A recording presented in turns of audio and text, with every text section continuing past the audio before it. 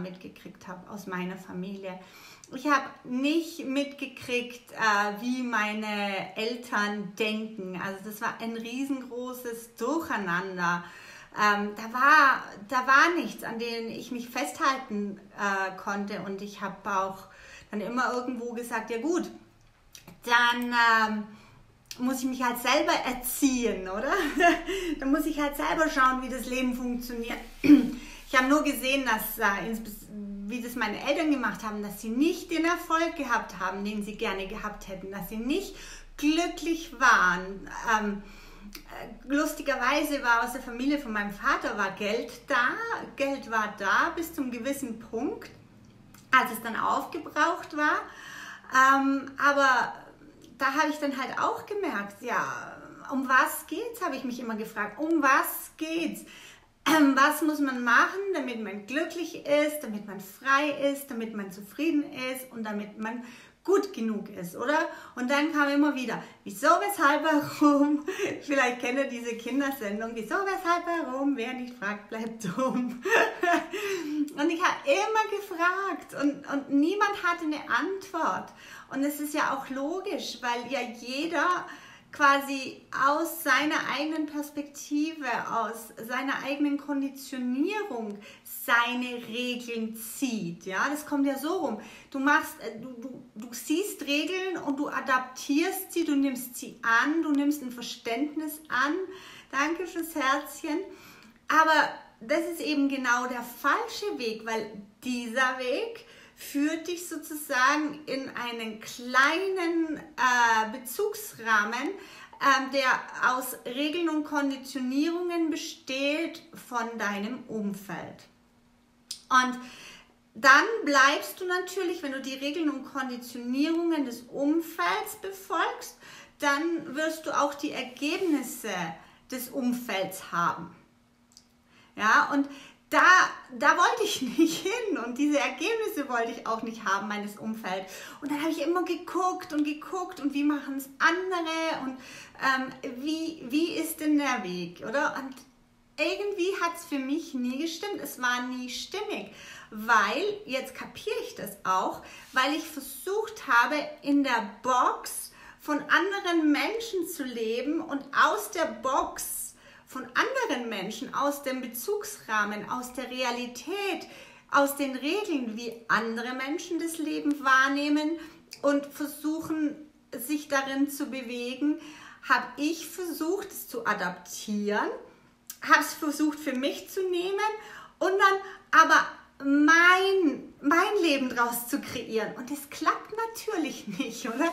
Du kannst nicht ähm, mit den Regeln anderer, mit den Vorstellungen anderer, mit den Überzeugungen anderer, die, die nicht mit dir resonieren, aber weil du glaubst, die haben ja die Erfolge, die haben ja das Leben und die haben, die fühlen sich ja so gut, weil du das ja glaubst, denkst du, du müsstest einen Weg gehen, den die anderen auch gehen. Und das ist so tief in, in uns verankert und führt einfach immer in Sackgassen. Und warum sind wir so verankert? Weil wir eben nicht wissen, wie wir mit diesem Raum der unendlichen, ja unendlichen, unbeschränkten Möglichkeiten umgehen sollen. Wir wissen es zwar, es wurde uns gesagt, wir haben Bücher gelesen, ähm, viele, die das jetzt hören, die kennen sich mit Dr. Joe Dispensers Arbeit aus und er führt uns in den Raum. Da ist, da weißt du plötzlich, okay, ich bin niemand, ich bin an keinem Ort, zu keiner Zeit, äh, mit keinem Objekt, sprich mit keinem Körper. Und dann lernst du, dass es also noch viel mehr gibt und viel größer ist. Und dann lernst du, dass du da in diesem Raum dich darauf fokussieren kannst, was du möchtest, ja, was du wirklich möchtest. Das sind ja auch diese Manifestationstechniken. Das sind diese Techniken, äh, die sagen, stell dir vor, was du möchtest und stell dir vor, ähm, wie das sein wird. Und gleichzeitig hast du dieses dicke Gummiband, das dir immer wieder zu dich zurückholt und sagt, Ja, da kann ich mir lang vorstellen, dass ich gesund und freudig am Rumhüpfen bin. Aber ich habe Schmerzen, mir tut alles weh, ich kann mich nicht bewegen. Und dann soll ich dorthin gehen, aber ich kann ja nicht dorthin, weil alles hält mich dort zurück. Ja, du bist kein Körper und so weiter. Und dann gehst du dorthin und gehst du dorthin und irgendwann mal hast du kleine Erfolge. Und die hatte ich auch. Kleine Erfolge und immer ein bisschen und es geht ein bisschen besser und es geht ein bisschen besser und ich komme ein bisschen mehr in die Welt, in der ich sein will und ich komme ein bisschen mehr in die Welt, in der ich sein will. Aber irgendwo ist da immer noch ein Deckel es geht nicht richtig durch, es geht nicht richtig vorwärts. Es ist immer noch dieses Bändlein da, das mich immer noch zurückhält und wo der Verstand, glaube ich, der, der Fadenzieher dieses Gummibands ist, der nicht bereit ist, weiterzugehen, der nicht bereit ist, in diesen Raum einzutreten, weil ich den nicht kenne, weil der unbekannt ist, weil ich Angst habe logisch. Also habe ich mir überlegt, ich muss die Angst vor dem Unbekannten verlieren. Okay, alles gut. Techniken, Surrender, Dr. Joe Dispenza, zwei Retreats, äh, Activities, diese Challenges, hinten fallen lassen, meditiert bis zum Muni. Aber ich hatte echt keinen Bock, mein Hirn explodieren zu lassen mit irgendeiner Atemübung weil auch hier ich für mich das nicht notwendig finde, dass ich äh, meinen Körper irgendwie stranguliere oder manipuliere, da, damit der aus dem Weg geht, ja. Ich wollte es über meinen Verstand, ich wollte es über mein Verständnis machen und ich musste wissen, was dieses Feld, was dieser Raum der unbeschränkten Möglichkeiten ist, wo der herkommt, warum der da ist. Und zwar nicht für mich als äh, äh, irgendwie äh, Moleküle und äh, Hormone und was weiß ich nicht was zu verstehen, sondern damit ich mit, mich in einem Raum der unbekannten Möglichkeiten ähm, wohlfühle, muss ich wissen, wer bin ich denn wirklich und wer bin ich dann in diesem Raum, ja? Weil niemand ist bereit, eine Identität aufzugeben oder eine Persönlichkeit oder ein Wissen oder eine Verbindung zu einem Schutz, zu einem Schutzgedankenkonstrukt, zu einer Schutzerfahrung aufzugeben, ähm, wenn er nichts Neues hat, was ihm Schutz bietet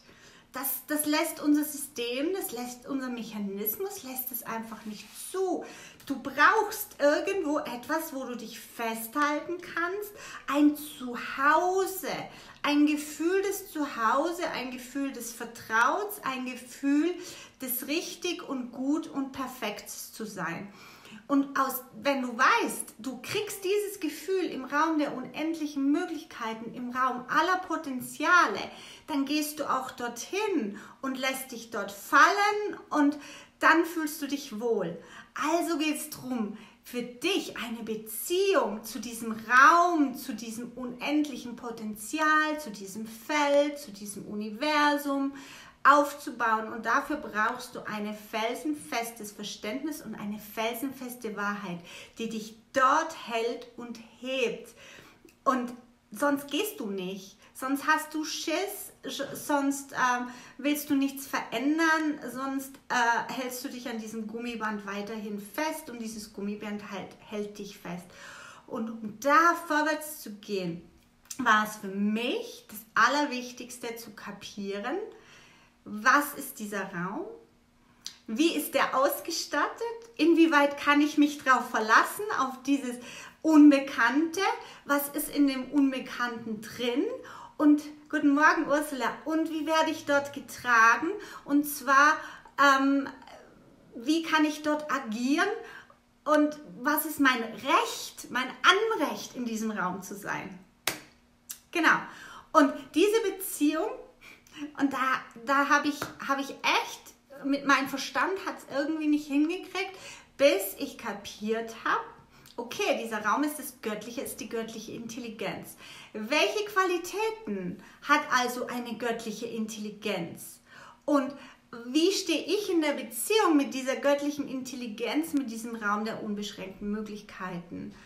Und erst dann, als ich dann kapiert habe, okay, da ist nicht ein schwarzes Loch, sondern da ist ein, eine, eine Energie, aus der ich entstanden bin, die mich trägt und zwar dorthin, wo es sich gut anfühlt, wo ich sicher bin. Aber damit ich mich darauf einlassen kann, muss ich alle alten Paradigmen, alle alten Vorstellungen davon, wie das Leben funktioniert, wer ich bin, wer meine Persönlichkeit ist, abgeben zugunsten einer wahren Identität. Es ist die einzige Wahrheit für mich, die auch erklärt alles warum ich mir so viele Dinge wünsche, warum ich frei sein möchte, warum ich nicht eben nach Paradigmen und Regeln arbeiten möchte, warum ich nicht einfach vertraue, was man mir sagt, weil ich das nicht muss. Und weil mein Innerstes und meine innerste Wahrheit, meine Schöpferwahrheit, meine göttliche Intelligenz, meine innerste Perfektion alles weiß alles haben kann, so leben kann, wie der Wunsch ist, wie der Wunsch meiner Lebensqualität ist, wie der Wunsch meines Seinszustandes ist, wie der Wunsch ist, wie, wie ich hier als spirituelles Wesen auf diesem Erdboden meine, jetzt kommt es wieder, meine Berufung bringen will, meine Berufung legen will. Ja, was ist denn meine Berufung? Ja, was ist denn meine Berufung? Ich sage es ganz einfach. Die Berufung von jedem ist aus dieser Wahrheit heraus mehr Wahrheit alias mehr Liebe zu generieren, weil das das Innerste ist. Was wir wollen, wir wollen Liebe, Schönheit, Freiheit, Sicherheit und da unterscheidet sich keiner, weil das, das Bewusstsein des, der Wahrheit ist, des All-Eins, für das wir einfach hier sind.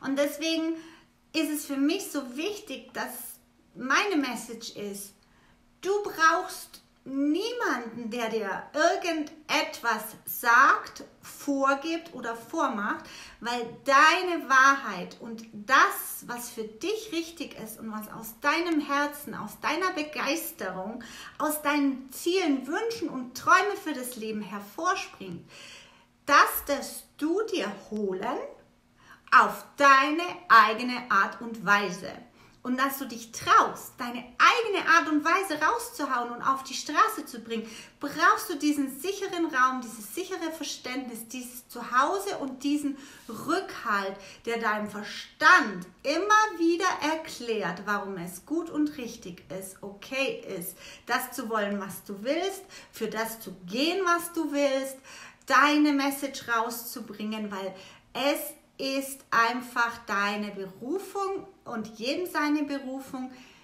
hier Liebe zu sehen. Und durch das Sehen wird Liebe generiert. Und durch die Liebe wird Fülle generiert. Durch die Fülle wird glückliches Wohlbefinden generiert. Und vor allem, verdammt nochmal, Gesundheit. Weil diese ganzen Emotionen, die nur aus der Lüge entspringen, die sich in unserem Körper manifestieren und krank machen, diese Emotionen, die gehören nicht zur Wahrheit, die gehören nicht zum unendlichen Potenzial, die müssen da nicht sein, die sind alter BS, alter Scheiß, alte Regeln, alte Vorstellungen. Aber die knacken nur, weil ich dir sage, du sollst sie knacken und weil es dir hunderttausend andere auch sagen. Lass es sein, glaub was anderes, du bist super, du bist toll. Und immer wieder dieses Gummiband, das dich zurückhält und du gehst wieder ein Schrittchen und ziehst dieses Gummiband und verlängerst es und dann äh, kommst aber nicht richtig durch. Und es geht wirklich das zu durchbrechen.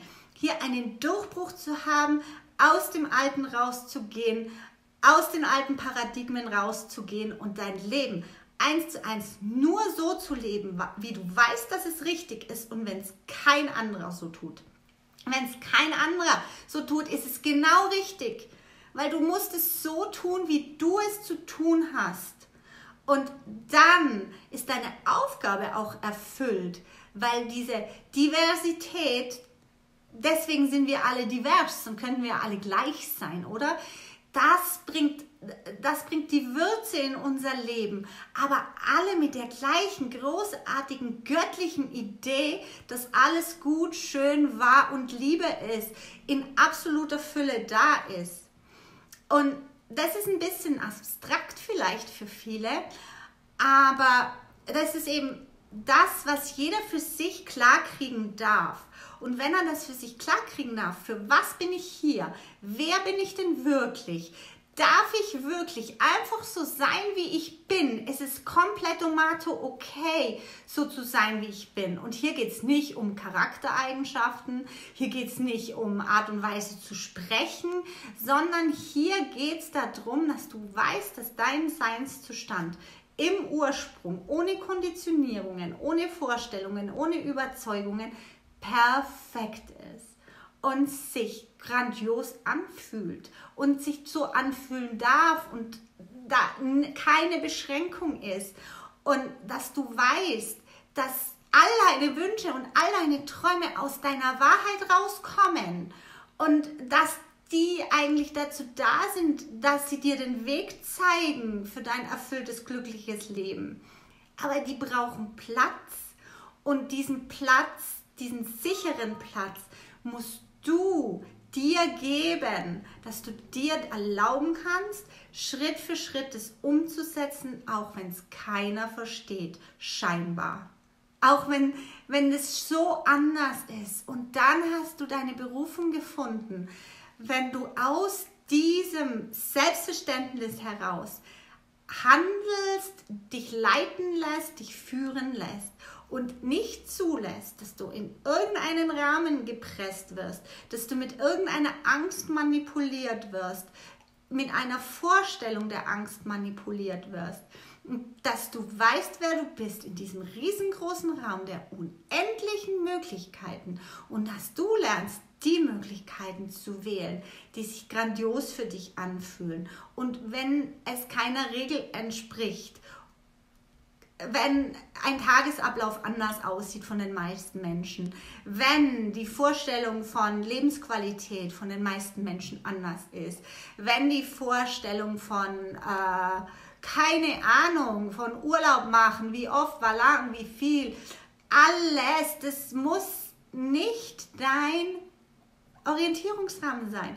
weil dein Orientierungsrahmen ist deiner und da gibt es keine Limite, ja, es gibt keine Limite. Du darfst und kannst nur erreichen, was du willst, wenn du den und den und den Weg gehst. Ja, schau, wie viele sagen, schau, wie ich es gemacht habe, schau, wie ich reich geworden bin, schau, geh, mach einfach das, was ich dir sage. Und in dir sträubt sich alles dagegen und sagt, das stimmt doch für mich gar nicht. Und du denkst, du bist schlecht, weil das, wie der andere zum Erfolg gekommen ist, für dich nicht stimmt. Weil du dir nicht die Erlaubnis geben kannst, deinen Weg zu gehen, auch wenn er anders ist. Und ich spreche hier zu den Menschen, die sagen, ja, wow, genau, ich habe es immer gewusst, ich, ich muss nicht das machen, was man mir sagt, sondern es gibt hunderttausend andere Möglichkeiten, ähm, die Dinge mein Leben zu gestalten auf höchstem Niveau und ich sage jetzt auf höchstem energetischen Niveau, auf höchstem Freudeniveau, auf höchstem Liebeniveau, auf höchstem Vertrauensniveau, auf höchstem Begeisterungsniveau und auf höchstem gesundheitlichen Niveau. Es ist da für jeden auf seine eigene Art und Weise. Und es gibt kein Falsch, es gibt nur ein falsches Verständnis. Und diesen falschen Verständnis helfe ich dir auf die Spur zu kommen, dieses falsche Verständnis aufzudecken und zu sagen, hey, das ist ein falsches Verständnis, das du hast vom Leben. Das stimmt so nicht. Die Wahrheit ist frei, die Wahrheit ist schön, die Wahrheit ist in Fülle. Wenn dieses Verständnis musst du nicht weitertragen. Und ich bin dazu da, das ist meine Berufung, diese, diese Verständnisse einfach aufzudecken und nicht mal zu drehen, sondern dir die Wahrheit zu erklären, dir zu erklären, wo deine wahre Sicherheit ist, wo deine wahre Unterstützung ist, dir zu erklären, wo deine wahre Freude ist, dir zu erklären, wo die wahre Fülle ist und dass du diesen Zugang findest für dich auf deine Art und Weise, ohne jemals wieder zu denken, irgendetwas, was du willst, was du dir wünschst, was du dir vorstellst, ist falsch oder daneben. Weil das ist der größte Hemmschuh, weil wir immer wieder im Außen nach Erlaubnisgebern für uns selbst suchen. Und das geht ein Stück weit. Und dann kannst du dir den nächsten Erlaubnisgeber suchen und den nächsten und den nächsten. Aber wie wäre es, wenn du es lernst, für dich selber diese felsenfeste Basis zu finden, wo du dein eigener Erlaubnisgeber jedes Mal bist, wenn wieder ein neuer Wunsch, ein neues Ziel, ein neuer Traum aufkommt. Und auch für Gesundheit. Ich komme aus der Gesundheit, weil ich musste es mir aus der Gesundheit beweisen. Wie gesagt, wenn es so geht und Unheilbares heilbar werden kann und mehr und mehr und mehr, dann glaube ich erst dran, dass es keine Limite gibt. Nur, das Geile an der ganzen Geschichte war, es hat mich immer wieder vor, diesen, äh, äh, vor diese Herausforderung und dann kam wieder ein Schmerz und dann kam wieder eine Einschränkung und dann kam das und so weiter und so fort. Und es hat mich immer wieder dazu getrieben, endlich anzuerkennen, wer ich wirklich bin, wie bedingungslos, unlimitiert, das Universum ist und unlimitiert heißt eben einfach energetisch, weil alles, was materiell, was substanziell ist, auch unser Körper, ist beschränkt. Und wie ich diese Unbeschränktheit, die meine Wahrheit ist, auf einer, in einer beschränkten Realität lebe, das ist doch das Interessante. Das ist doch das Interessante, wie ich das hinkriege und dieses Verständnis und diesen Mindset und diese Wahrheit für dich zu adaptieren. Darum geht es mir und darum geht es auch in dem Magic Mind Mastermind, das nächste Woche am Mittwoch startet. Es wird eine kleine Gruppe sein von Frauen, bis jetzt hat sich noch kein Mann interessiert, mit denen ich ganz eng zusammenarbeite, sechs Wochen lang. Und mit denen ich, die, denen ich helfe für sich, diese Geschichte, diesen Verstand, diese Sache klar zu kriegen, dass jedes Warum, dass jedes Warum, das aufkommt in deinem Kopf, dass jedes Ich verstehe es nicht, eine Basis hat, aus der du die Antworten schöpfst. Und dann bist du aus meiner Sicht wirklich frei, weil dann bist du wirklich unabhängig, weil dann hast du für dich deine Wahrheit gefunden und aus der heraus lebst du und aus der heraus lässt, lässt du dich nicht mehr beeindrucken, aus der heraus lässt du dich nicht mehr bremsen, aus der heraus überlegst du dir nicht mehr, das darf ich sagen, aus der heraus überlegst du dir nicht mehr, ist der Wunsch nicht zu groß oder ist es nicht zu irre, sondern aus der heraus gehst du in diese Pam, Klarheit rein, wo du dann plötzlich erkennst, wow, wow, wow, das ist verdammt groß, was ich hier jetzt sehen kann.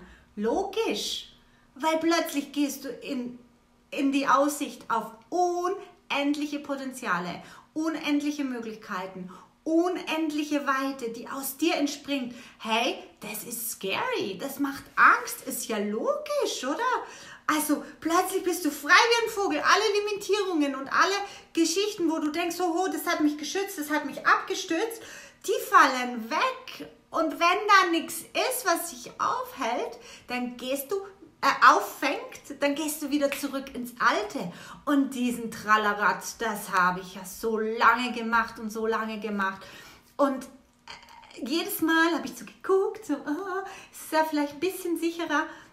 Und es ging erst auf, als ich für mich diese Sicherheit hatte, diese Sicherheit, die aus der Wahrheit kommt, aus dem Leben und aus dem Herzen. Viele nennen es aus dem Herzen, aber es hat mir nicht gereicht, einfach irgendwo zu sagen, gut, ich brauche eine Herz-Hirn-Kohärenz und das muss ich herstellen und so weiter und so fort. Und dann mache ich das nicht mehr und dann macht es wieder, Scheiß, hab Angst, oder? Was für ein Instrument, was für ein Tool muss ich jetzt machen, oder? Und dann bin ich die ganze Zeit wieder beschäftigt mit der Vorstellung, was soll ich tun, was soll ich tun, was soll ich tun, was soll ich tun.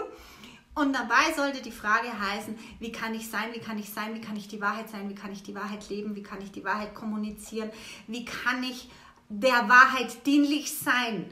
Weil die Wahrheit ist das, was sich geil anfühlt, was sich cool anfühlt, was sich frei anfühlt, was sich gesund anfühlt und was sich neu anfühlt, was sich frisch anfühlt.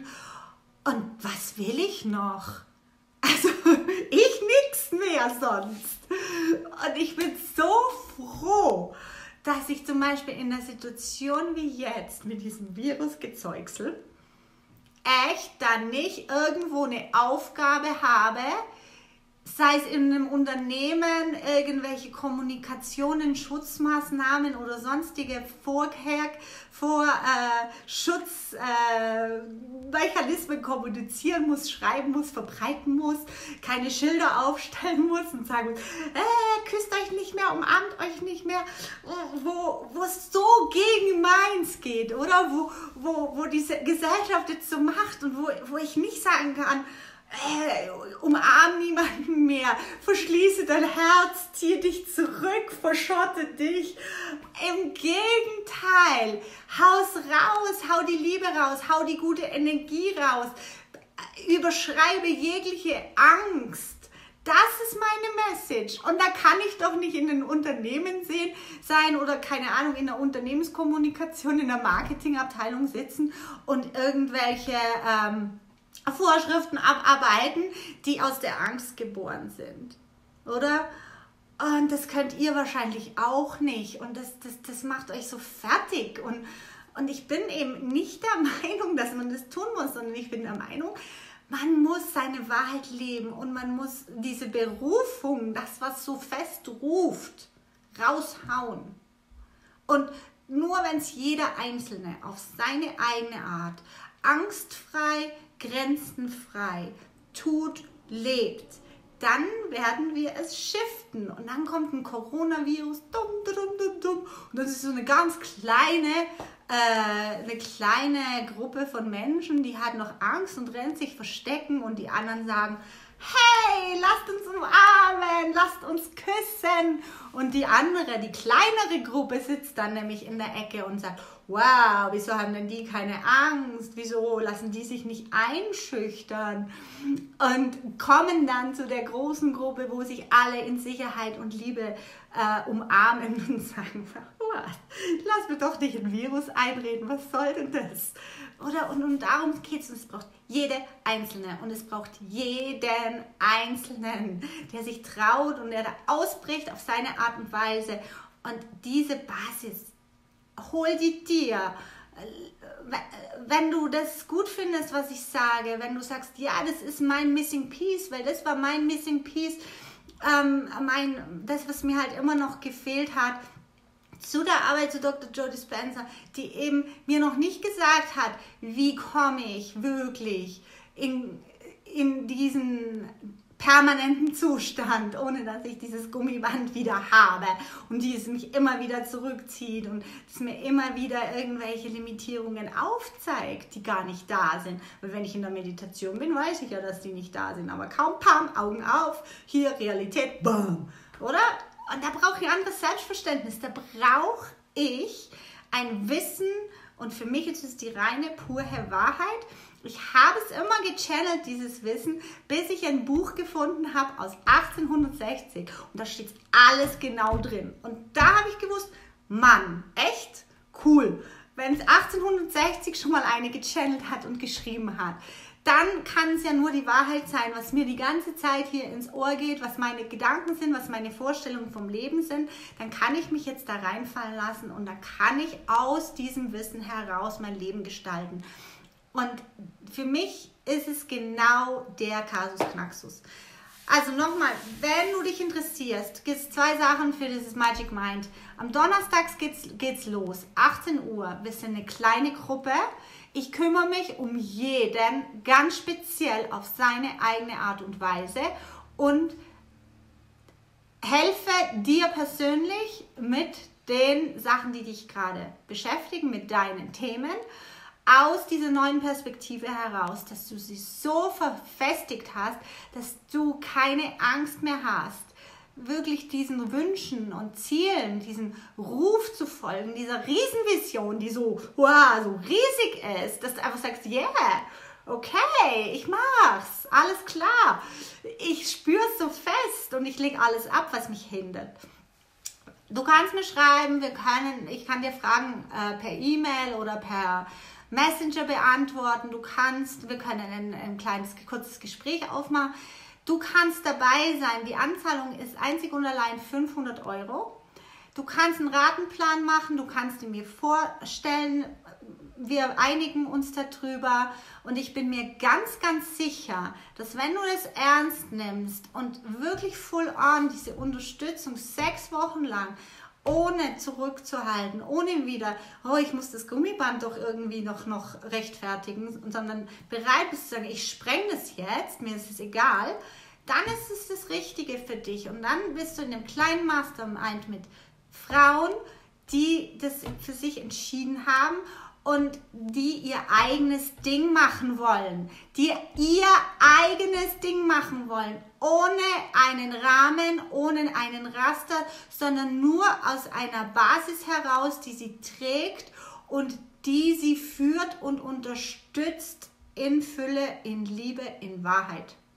Also, ich freue mich auf dieses Magic Mind, weil wir können das alle machen.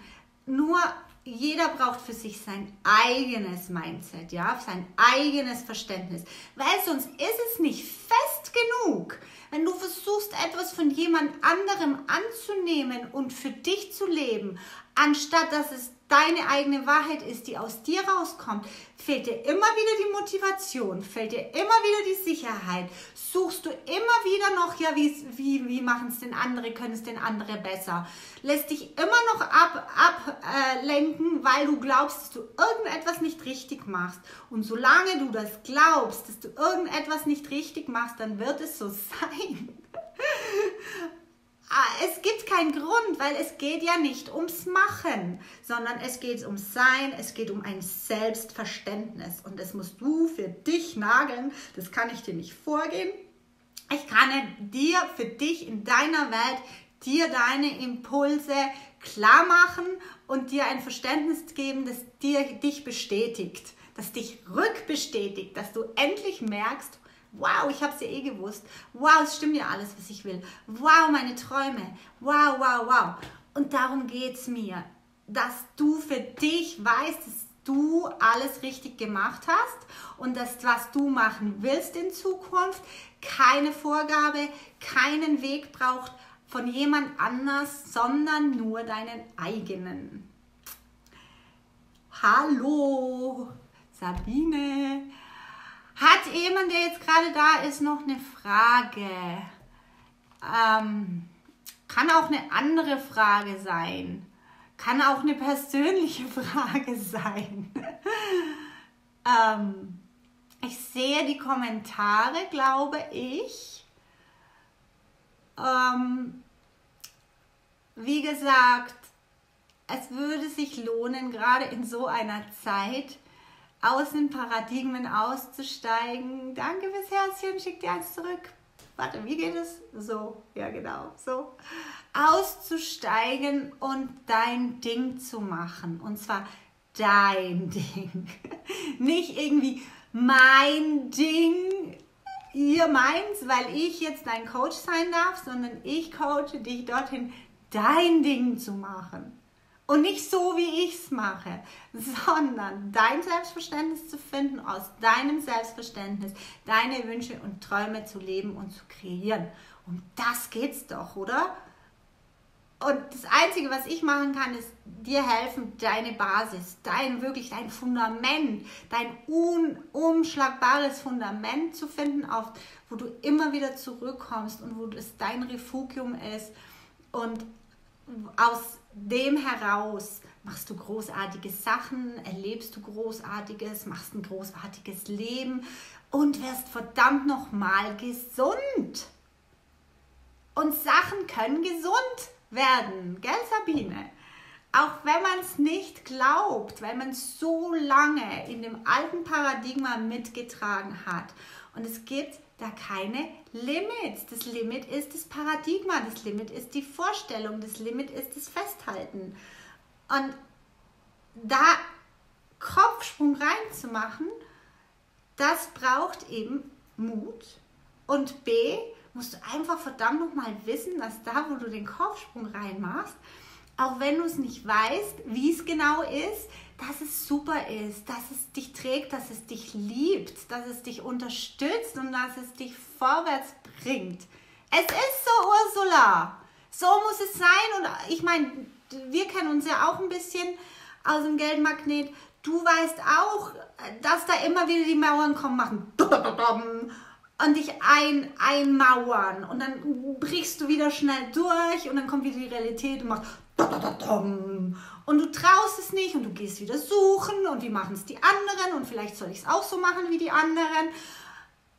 Und das ist halt einfach nicht nachhaltig. Das bringt dich immer ein Stück weiter, immer ein Stück weiter, immer ein Stück weiter. Und ich will aber, dass es explodiert in den Menschen. So wie es lange bei mir nicht explodiert hat. Aber als es dann explodiert hat, äh, war ich dann echt frei. Und zwar nicht so, so pseudofrei, weil ich es mir irgendwie eingeredet habe und so weiter und so fort, sondern dann hat sich eben diese Kohärenz hergestellt und nicht nur von kurz von Hirn und von Herz, sondern von allem, innen, außen, Vorstellungen, Wünschen, plötzlich wurde alles kohärent und plötzlich war es ja, das Gummiband. Plötzlich war es echt entspannend.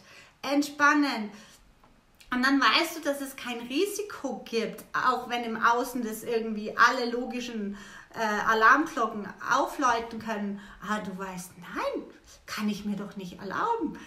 Ich gehe mein Ding. Und wenn mein Ding göttlich geführt ist, wenn es wirklich, wenn ich das spüre, dass es von höchster Liebe, von höchster Energie, von höchster Begeisterung gespürt ist, dann äh, geführt ist, dann spüre ich auch keine Angst. Nur wenn ich immer noch glaube, ich mache irgendetwas falsch und irgendetwas kann nicht so gehen, wie ich es mir vorstelle, dann ist es scheiße. Aber alles kann so gehen, wie du es dir vorstellst. A, kannst du alles haben, was du willst und B, musst du nicht Sacrifices machen. Also du musst nichts opfern.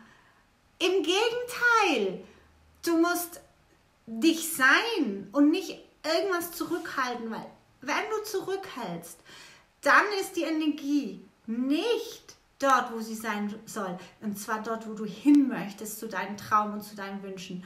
Wenn du irgendwas zurückhältst, wenn du dich irgendwie versteckst, auf irgendeine Art und Weise, wenn du irgendwie glaubst, irgendetwas machst du nicht gut genug, irgendetwas darf, darf man nicht sehen an dir, irgendetwas ist doch noch zu verändern, dann hältst du zurück. Und dann kommt wieder, dann bist du wieder mit dem Gummiband mega fest verbunden und dann bist du wieder in der alten Box.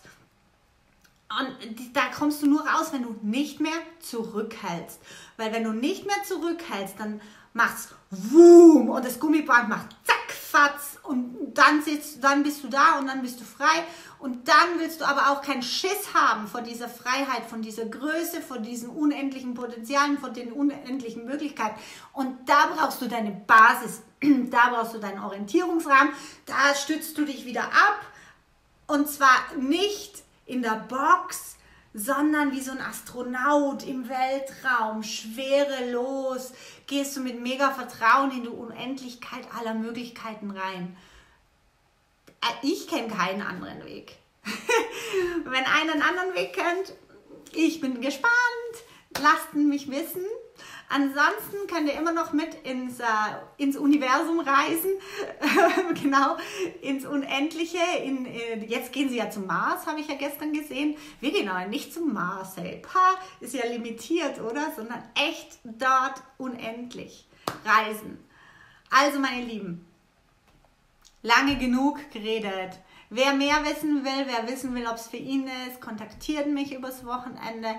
Ähm, Und äh, dann schauen wir 500 Euro Anzahlung. Du meldest dich an, zahlst 500 Euro an, sagst mir, wenn du es nicht auf einmal zahlen kannst, was dein Ratenplan ist. Und mein Ziel für jeden Einzelnen, der dabei ist, ist, dass der gar nicht merkt, dass er extra bezahlt hat, weil nämlich plötzlich Schleusen aufgehen, die zu waren, weil du dich plötzlich zeigst, weil du, weil du plötzlich da bist. Bitte, Ursula, sehr, sehr gerne. Weil du plötzlich präsent bist und weil du nicht mehr zurückhältst und weil du klar bist und weil du klar sagst, was du möchtest und weil du klar weißt, wer du bist und weil da kein Unterschied mehr davon ist, ob du die bist, die das haben darf, was sie möchte. Logo! Also, tschüss ihr Lieben, bye!